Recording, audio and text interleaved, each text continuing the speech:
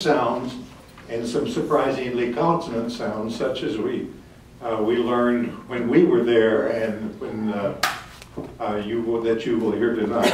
So I'd like to introduce to you Kwan, who is the director and kind of the general factotum of this organization, and please give him a Westminster welcome.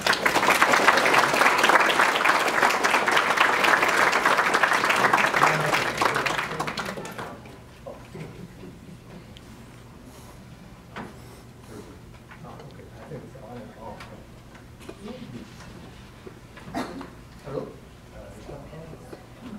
Maybe I missed that. Is that on? Yeah, let me, let me just this.